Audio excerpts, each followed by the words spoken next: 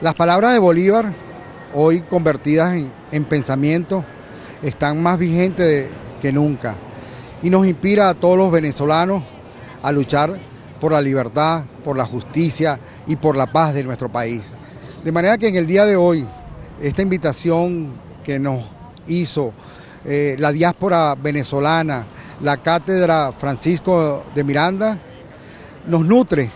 nos alimenta el alma para seguir luchando por Venezuela. Que nuestros hermanos que están allá en esa lucha, que están en las instituciones, en la presidencia de la República, en nuestras cárceles, que están sufriendo las injusticias, que están, han marchado, que están incluso pasando hambre, sepan que desde la distancia siempre estemos presentes Venezuela y que aquí, en, al lado de Bolívar, nos comprometemos que volveremos y que haremos nuestro país un país libre, un país democrático, un país de justicia y de paz.